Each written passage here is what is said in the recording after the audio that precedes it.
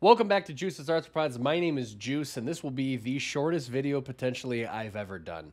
Um, I don't know who needs to hear this, but you're probably feeding fruit flies to animals wrong.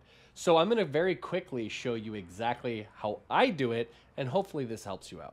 You need only a couple items. One, you need fruit flies, and my culture is kind of weak right now, so obviously it's uh, not too many.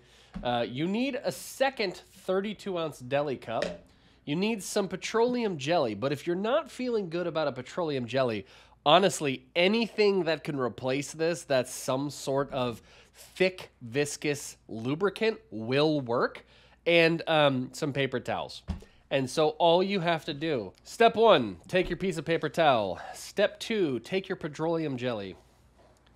You're now gonna take a thin layer.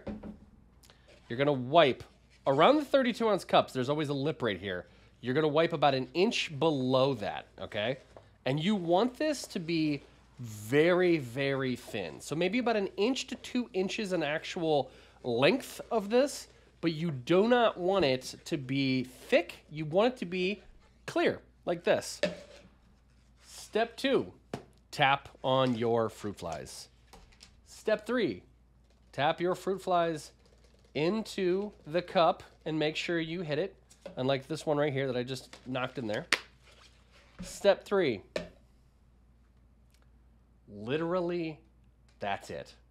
And then you take this cup, you'll notice they can't go past the lip of the actual petroleum jelly, as you can see right here. And then you feed your fruit flies. As you want to feed them, you just tap those into your enclosure versus you taking this massive cup, which often has hundreds of fruit flies in it, and tapping it out into each thing you need to feed. This will save you a ton of time. Enjoy.